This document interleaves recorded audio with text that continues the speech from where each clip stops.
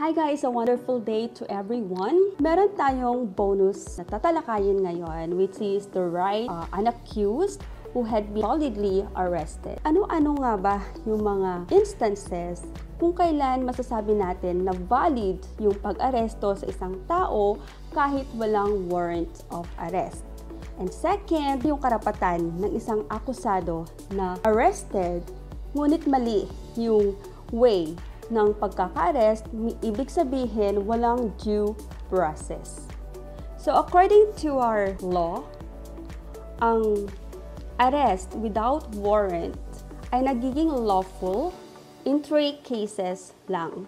So unang-una is yung in flagrante delicto or ito yung tinatawag nating caught in the act. Second, yung hot pursuit. Ito yung kakatapos lang din yung crime and pwede pang huliin or pwede pang habulin yung accused. Third, kung ito isang prisoner na nakapag-escape from the prison. Ano naman yung remedy ng isang accused kapag ito ay hinuli na walang warrant of arrest and hindi kasama sa three instances na kung saan nagiging valid yung arrest kapag walang warrant. Ang remedy ng isang accused is the motion to quash the information. When we say information, it is the complaint filed in court. Just click the subscribe button. Huwag rin kalimutan guys na pindutin yung like, uh, mag-comment din if you have additional questions and don't forget to share it to your friends, family who might need this.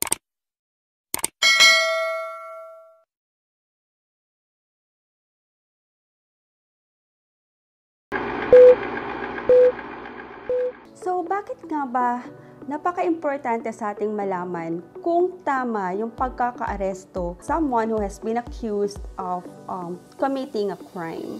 Kasi sabi sa um, Constitution natin, sa Bill of Rights, nakauna sabi dito, no person shall be deprived of life, liberty, or property without due process of law, nor shall any person be denied the equal protection of the laws. So, unang-una sabi dito, pag i-deprive ka of your liberty or yung kalayaan mo, kailangan dumaan ito sa due process. And isa due process dito is yung making sure na yung pag-arrest uh, is correct. Kahit nga may warrant of arrest, meron pa ring process na dapat sundin dito. Sabi ng uh, rules of court, a peace officer or a private person, pwede kang huliin ng peace officer, ito yung police or any peace officer, or pwede ka ring huliin ng isang private person. Without a warrant, may arrest someone when in his presence, person to be arrested has committed. So ito na witness nung taong uh, gagawa ng arrest. Na witness niya yung pag-commit or kung hindi pa nako-commit, the offender is actually committing kasalukuyang kinocommit or is attempting to commit an offense. So, ito yung caught in the act. Any peace officer or private person na naka-witness nito pag committed na is actually committing or is attempting to commit a crime. Pwede kang huliin kahit wala silang um, warrant of arrest. And then second, ito yung hot pursuit na tinatawag natin.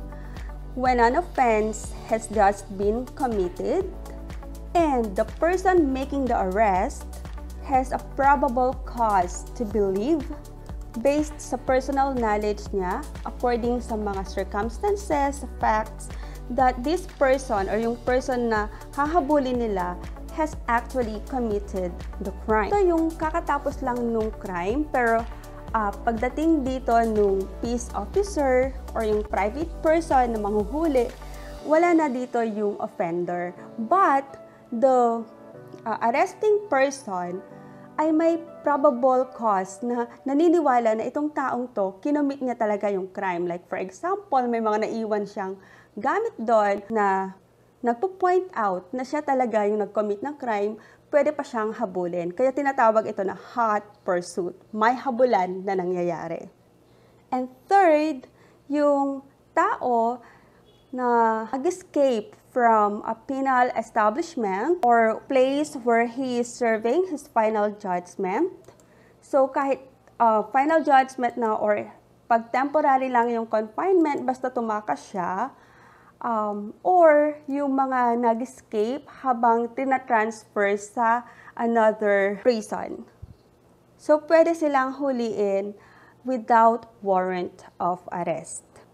So yun lang yung tatlong instances where a person could be arrested kahit walang warrant of arrest. Kapag naman hinuli sila na walang warrant and hindi nagfo-fall sa tatlong instances na ito, ibig sabihin, invalid yung kanyang pagkaka-arrest. And sabi natin kanina, kapag yung liberty or yung freedom mo ay natanggal sa'yo dahil inarrest ka, it should always undergo yung due process which is yung right natin na nakalagay doon sa Bill of Rights, nasa Constitution natin to. So ito yung mostly hindi alam ng iba. So may remedy si accused. Paano pag nakakulong ka na, uh, sampahan ka na ng kaso, but the arrest made was invalid. Kahit sabihin pa natin you're guilty of doing a crime, but you were not afforded with the due process as an accused, you still have a remedy. This is always a presumption that a person is deemed innocent until proven guilty by a valid court. So, unang-una, ang remedy natin is a motion to quash the information. Ito ay pinapawalang bisa yung isinampang kaso against the accused. So, kailan pwedeng mag-file ng motion to quash the information? Ang sabi dito sa Rules of Court, at any time before entering his plea, the accused may move to quash the complaint or information. So, ibig sabihin nito, kahit may na-file ng complaint by the prosecutor, final na sa court, and may tinatawag tayong pre-trial wherein the court will call you, tatanungin ka, guilty or not, and before mangyari yon, you should file your motion to quash. Bakit nga ba may karapatan kang mag-invalidate uh, nung uh, complaint na na-file sa'yo? Unang-una sabi ng batas, the accused may move to quash the complaint kapag yung court na um, trying the case ay walang jurisdiction over the person of the accused. Uh, napaka-importante kasi na ang court na pinagsampahan ng kaso, magkaroon muna ng jurisdiction over the person nung taong lilitisin. And kapag invalid yung pagkakaaresto or pagkakahuli sa kanya, ibig sabihin, walang jurisdiction yung court para litisin siya. And this is very important.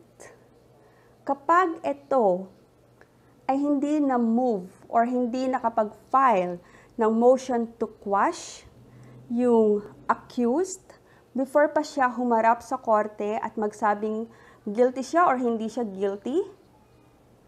He has deemed waived yung karapatan niya na uh, i-question yung validity ng arrest. So according to section 9 of rule 117 of the rules of court, the failure of the accused to assert any ground of a motion to quash before pa siya mag-plea to the complaint, either because he did not file a motion or he failed to allege the same in said motion, shall be deemed a waiver of any objections based on the grounds provided for in Rule 8. So this is very important kung bakit uh, even if you are the accused, kailangan mong mag-consult sa lawyer because they know what your rights are. Uh, I'm saying this because I know someone na invalidly arrested, although we know that he is guilty of such crime na sinampa sa kanya. Nasa um, prison siya for two months already, starting December. And ang first uh, appearance pa sa court where he would be asked kung guilty siya or not would still be in April. But the family could have made, um, I mean, this remedy, or who could, they could have availed of their rights to also um, move for the freedom nung accused. So if you have questions, guys, follow-up questions, please feel free to uh, write your comments below and I will try to answer all your questions kahit hindi on time but I will try to catch up with you. Um, yun lang and um, I hope may natutunan kayo and until our next video. Have a wonderful day, guys!